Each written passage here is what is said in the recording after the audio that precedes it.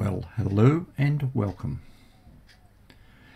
In this presentation, we will be going through the process of factorizing monic quadratic equations. Now, quadratic equations basically have the form ax squared plus bx plus c. Now, particular values a and b are referred to as coefficients. The x squared and the x are called variables and the c is called a constant. Now, monic quadratic equations have the value of the coefficient a set to 1. So, typical examples of monic quadratic equations. X squared plus 5x plus 6 x squared minus 6x plus 9 etc etc now what basically we're doing is we're taking an equation such as this and we're moving in this direction to factorize in other words we're trying to include the brackets Whereas if I was going in the reverse direction, which is perhaps the more simpler approach, that's known as expansion. Now there's a whole lot of steps to go through. If you want to read the steps, just pause the video now. I will just skip forward and it's probably best to just to do a couple of examples. So, say I want to factorize x squared plus 5x plus 6. Well, my first step is I draw my cross and identify my variable, that being x. The second step, I go and look for the factors of 6. So what multiplied together gives me 6. So the first factor would be 1 multiplied by 6. Now, Step three, I go and have a look to see whether these two particular numbers add up to give me 7x. So by the cross method, 6 times x is 6x plus another 1 times x is 7x. Now does 7x, is that the same as 5x? Well, it's not equal to 7x is not equal to 5x, so that is not the right solution. So what we do is we go back to step two and try another set of factors. This time we'll try two and three. So, oops, I just need to go to the next slide. So, so again, similar sort of approach. 2 times x plus 3 times x. 2x plus 3x is 5x. Now 5x does equal 5x. So I'm looking for the value of this coefficient here. So life is good. I have my solution. You see here my solution will be x plus 3 all in brackets multiplied by x plus 2. You see here x plus 2, x plus 3. It doesn't matter which order you put these in. And when I expand that out, you will see that the actual solution or the answer for the expansion of this will be x squared plus 5x plus 6. Now I've gone through that fairly quickly. Let's just go into a couple more examples. So, first one, x squared plus 7x plus 12. So, my, grab my pen I write my x's, x, x, draw my crosses, and look for the factors of 12. So, first factor, 1 and 12.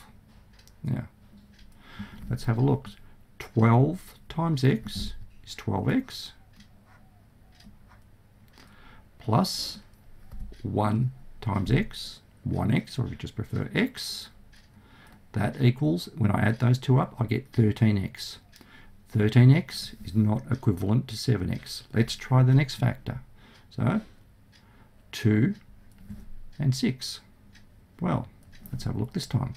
6 times x, 6x. 2 times x plus 2x 6x plus 2x is 8x. Does 8x equal 7x? No, it doesn't, but it's getting closer. Next factor, 3 and 4. Okay. 4 times x is 4x plus 3 times x is 3x. That equals 7x. Now, does 7x equal 7x? Yes, it does. So my answer is, in brackets, x plus 3, and in the other set, set of brackets, x plus 4. Okay, I'll just let you mull on that one for a second. Just pause it if you want to have a bit of a think. I'll move to the next one. I'll just clear this annotation. And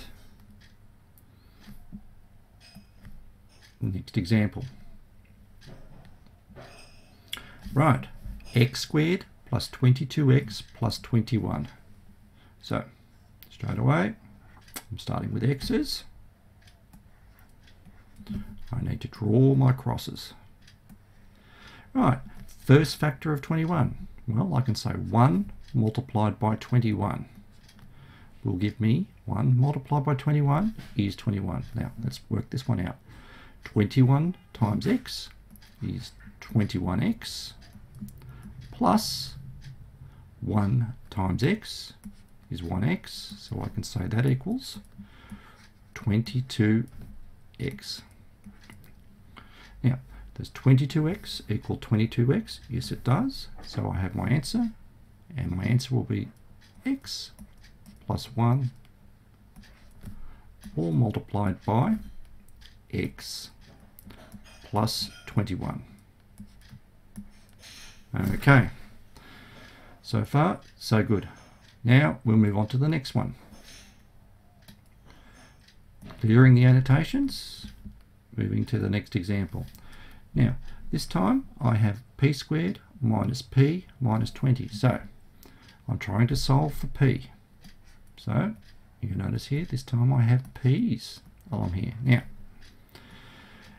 the next thing you'll notice, look at the sign here. This is negative. So to get a negative, I need to multiply a positive number by a negative number.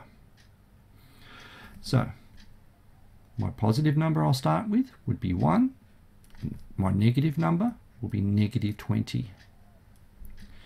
So, negative 20 times 1 is negative 20. Now let's have a look going the other way, multiplying out the crosses. So negative 20 times p, negative 20p, plus 1 times p, that's 1p, that's equal to negative 19p. Well, negative 19p is not the same as negative p. Let's go for our next factor. This time 2 and negative 10. So negative 10 times p, negative 10p, plus 2 times p is 2p. That's equal to negative 8 p. It's closer to the answer, but not the answer I'm after. Now, 3 is not a factor. What about 4? Let's try 4 and negative 5. Now I'm running out of room. Let's hope this is the right answer. So negative 5 times p is negative 5p plus 4 times p is 4p. That equals, well, negative p. Is negative p the same as my negative p? Yes, it is. So I have my answer. Here we go, in brackets, p, whoops, p plus 4, and in the other set of brackets, p minus 5. So just be aware, if we have a negative sign here, it means that one value here, one constant has to be positive, the other will be negative. So you just need to try all the different combinations.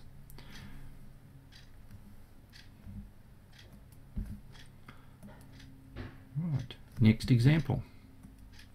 Now, this time we're solving for y. So over here, a y and a y and what you'll notice here I'm looking for two numbers that multiply to give me a positive number and when I add them together I get a negative number so straight away I know that both values of my constants will be negative because a negative times a negative is a positive and a negative plus a negative is negative. So mm. let's look at our factors of 22. So first factor, negative 1, negative 22. So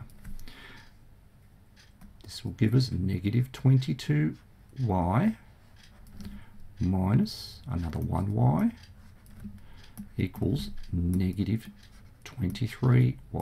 Well, that's not negative 13. Okay, what's our next factors? Well, 22, the next one will be negative 2, negative 11.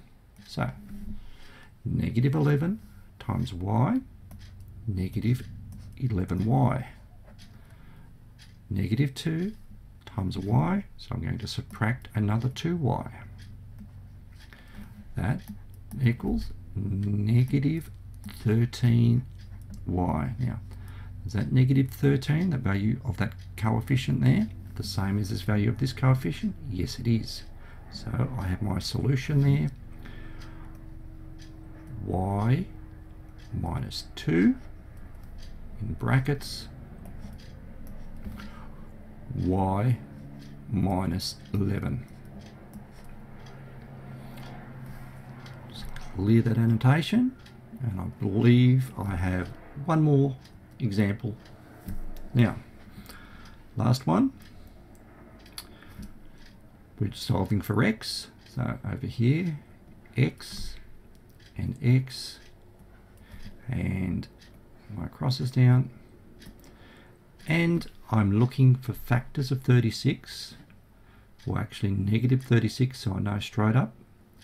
One factor will be positive, one will be negative because I have a negative sign here. So Let's have a look. So we'll start with negative 1, positive 36. So negative, well, I'll, I'll go like to work with positive. So 36 times x is 36x minus 1x. 36 minus 1x is 35x. That does not give me 9x. So next factor. I'll just work my way up here. Negative 2 and 18. So 18 times x, 18x minus 2x. That gives me 16x. I'm getting closer, but not close enough yet. Now, let's try 12. 12, negative 3, negative 3 times 12, negative 36, and 12x minus 3x. Well, that gives me, oh, there we have it. That equals 9x. That came as a shock. 9x is the same as the 9x there. And see the 9s match. So the solution will be x minus 3 and x plus 12. Again, doesn't matter which order you put these in, you could have x plus 12 multiplied by x minus 3. Well, there you have it. I hope this presentation has assisted you with getting a better understanding of how to factorize using the cross method when we're factorizing monic quadratic equations. Until next time, good maths and bye for now.